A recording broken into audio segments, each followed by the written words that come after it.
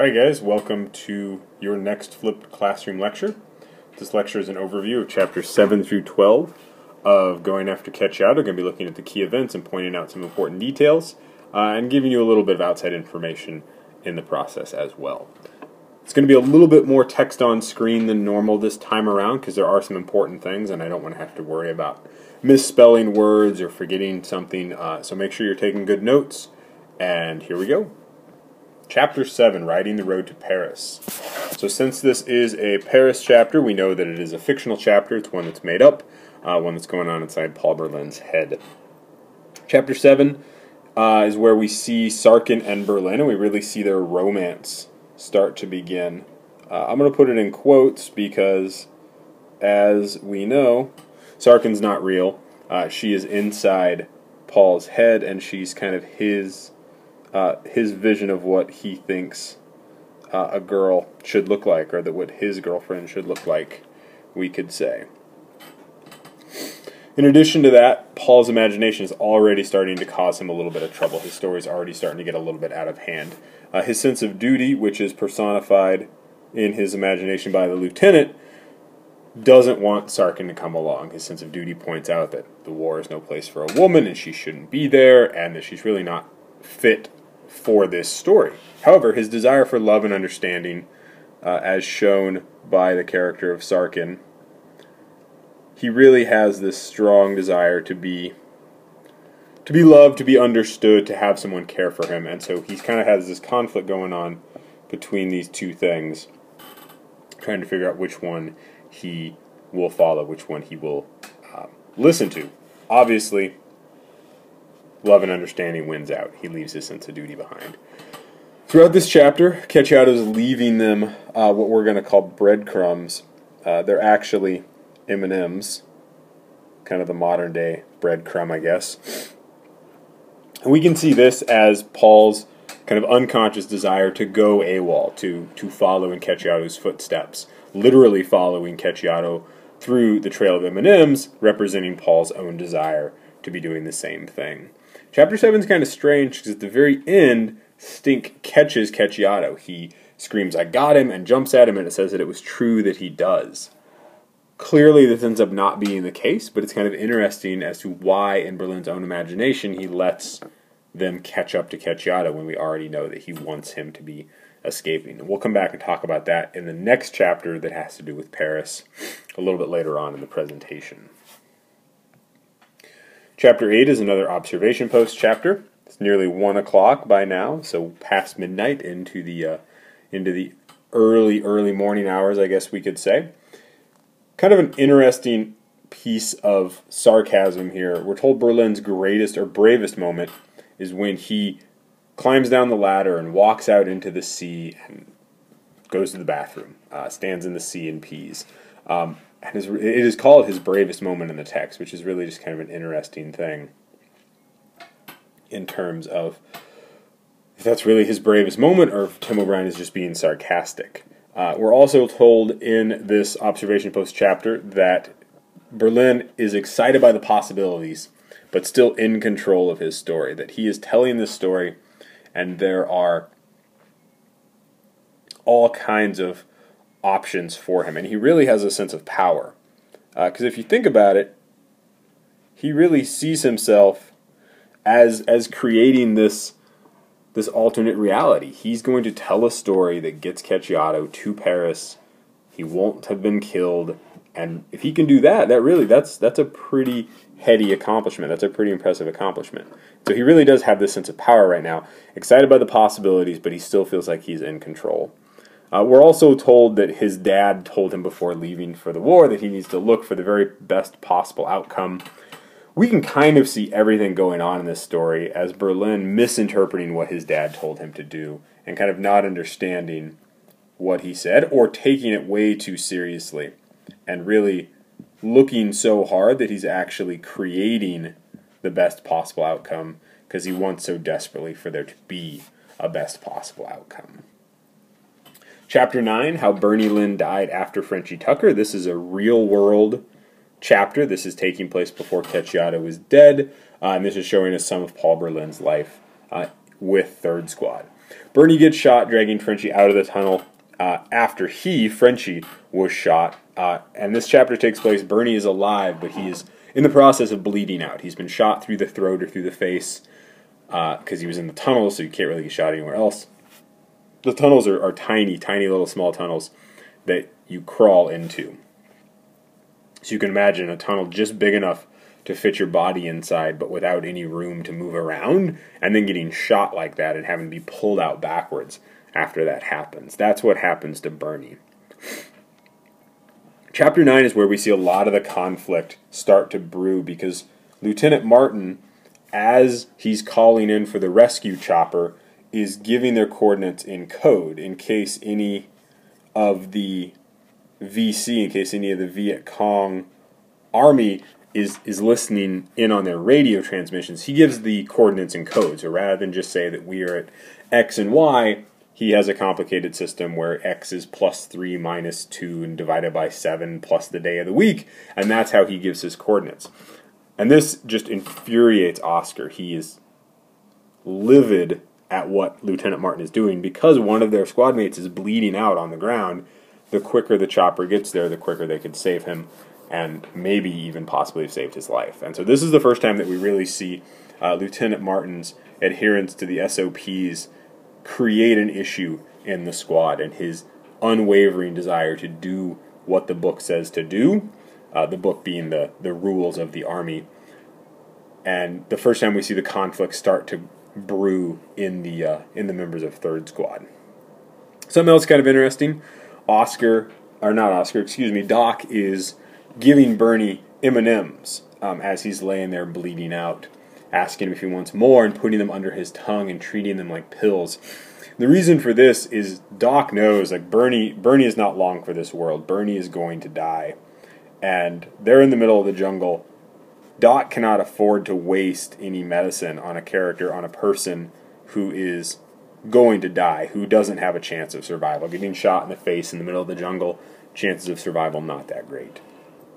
And so he gives Bernie these M and M's kind of as a placebo, uh, as as a fake, as a way to make Bernie still feel good as he's dying.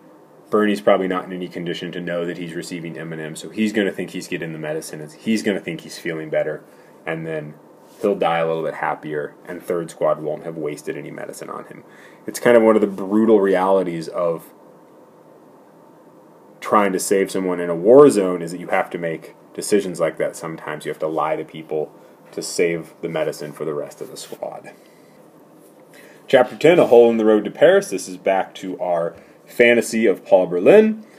We find that Stink's attempt to capture Cacciato just resulted in him getting bitten by Cacciato, which is just a weird series of events and brings up all kinds of questions in terms of how do you accidentally get bitten by someone you're trying to capture, and all these different things. Knowing that this is all taking place in Paul Berlin's head, we can really see Stink as kind of representing a couple of things, a couple of tendencies, especially tendencies that young men tend to have. And that's one, getting ahead of yourself and kind of jumping in. You may have heard someone say the phrase of, like, oh, you got bit by that, didn't you? And this idea of kind of having an unexpected outcome because you weren't fully anticipating what could have happened. Stink more generally kind of represents the enthusiastic but unskilled members of the army of society in general. We can see a lot of that actually later on in the book on in chapter 39 whenever he's trying to speak Vietnamese but he just ends up screaming at the Vietnamese people and shooting his gun until they do what he wants and then turns around and is very proud of what he just accomplished. And so in Paul Berlin's mind, Stink is kind of this representative of this young, gung ho, a little bit crazy kid uh, who kind of gets himself into these weird situations. Chapter 10, again, is where we see Paul Berlin's story kind of get out of hand. Uh, he can't think of a way to keep Sarkin with him. Lieutenant uh, Corson, his sense of duty, has told him that he has to get rid of her, that this is no place for a girl, and so it simply happens. Uh, he opens up the hole, and they all fall into the hole. Well, just one hole, not two. This is an allusion to maybe a very famous children's story that you may have seen the movie of or possibly even read the book of Uh, this is an allusion to Alice in Wonderland. Alice in Wonderland, very popular. Look up a clip on YouTube if you're interested. Uh, deals with a little girl falling down a rabbit hole and entering this very crazy world where nothing makes sense and characters are confusing and backwards and everything's a little bit strange. Um, this falling down a hole has kind of become in in novels always an allusion to Alice in Wonderland because so much of what happens in Alice in Wonderland is just so flat out kind of strange. And so anytime we see characters kind of falling through a hole, we immediately want to think about Alice in Wonderland, especially because what happens in the hole is very strange. The characters they meet, kind of the things that happen, the command center that's under the ground, all those things are kind of strange. So this is again Tim O'Brien's way of kind of winking at the reader, of kind of giving clues to the reader that this is not just your basic war story, that there are weirder, kind of stranger things going on here. Chapter 11 Fire in the Hole. This is the one that starts with Jim Pederson being dead. Remember that he was shot by the uh, helicopter. Shot by the door gunners, actually. We don't quite know what happens. We arrive after he's already been shot. Um, we see him get off the helicopter in chapter uh, in a later chapter, and we know that they're near the village of Hoi An. The village didn't have anything to do with Pederson's death. Pederson was shot by the door gunners on the helicopter. However, Third Squad calls in an airstrike on this innocent town. Uh, and it says that they had alternating rounds of what they call Willie Peter and HE. Uh, Willie Peter is shorthand for white phosphorus. It's kind of army lingo for white phosphorus. White phosphorus is a nasty, nasty tool in the army. Uh, phosphorus, when it burns, sticks to things. It sticks to organic material. Uh, this picture up here is actually a picture of a man with white phosphorus burns. You can see them kind of all over his back. It sticks to the flesh and it will burn into the flesh. It sinks into the flesh as it burns. And if that weren't bad enough, your body then actually absorbs that phosphorus and phosphorus is a is a toxin. Too much phosphorus in your body is poisonous. So if having these giant holes in you doesn't kill you, the excess phosphorus in your bloodstream and in your skin can. In addition to the Willie Peter, if that weren't bad enough, they're also calling in high explosive rounds, which are just the basic fragmentation round of the artillery. It's not a grenade, but it is a it's a large shell that is fired and then it explodes into shards, and those shards then travel further and cause more and more damage. If that weren't enough, after they've called in this airstrike, they then just line up and begin firing their machine guns down into this town. And this is the whole end of chapter 11. Uh, Hoi An is an innocent town. Nothing, there is no indication that Hoi An had anything to do with Jim Pederson's death or with anything that happens to Third Squad. And they just completely destroy this town just out of anger at what happened. And then it says at the very end that they begin to talk about it, and it was always better to talk about it. And this is such a sarcastic piece that we have to feel like Tim O'Brien saw something like this happen in the war this is one of the times in which we can really see the author kind of showing us some of the things that happened in the war and how deeply deeply impactful they must have been for those soldiers. That kind of anger and frustration they must have felt in order to do something like this to a completely innocent village. Chapter 12 i realize now that i don't have the title up here but it is an observation post chapter. Uh, it's now 2.15 so we're now an hour and 15 minutes past our last observation post chapter. This is one where we really start to see Paul Berlin outline the reasons for a lot of his actions. And it comes down to one thing Paul Berlin is motivated by courage. If he has it, when he'll get it, when he'll know he has it, how he'll have a chance to show it. He's obsessed with this idea of being brave. And he really feels like he has the potential for courage given the right conditions. And he mentions this several times, and we'll come back to this at the end of the novel as well, that he feels like there's a silver star twinkling somewhere inside of him. Uh, this is the Silver Star. It is an award given for bravery.